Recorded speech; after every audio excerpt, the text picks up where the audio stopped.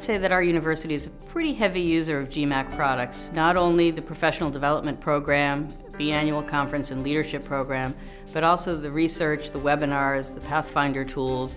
We're able to do competitive analysis with programs like ours. We can benchmark against aspirant programs.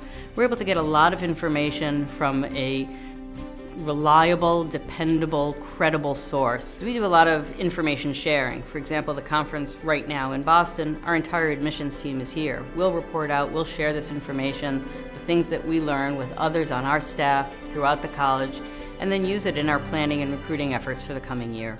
GMAC has helped me enhance my decision making by allowing me to benchmark against my competitors. Seton Hall University is in the tri state area, the New York, New Jersey area, and it's a very competitive, probably the most competitive school um, area in the world. We have a lot of graduate programs within a very, very short distance. So, as a member school of GMAC, I have access to reports that non member schools do not have access to. Those reports allow me to know what leading edge is, know what my competitors are doing, know what my peers are doing, and it helps me to improve the quality of my processes and the quality of the candidates that I bring into the program.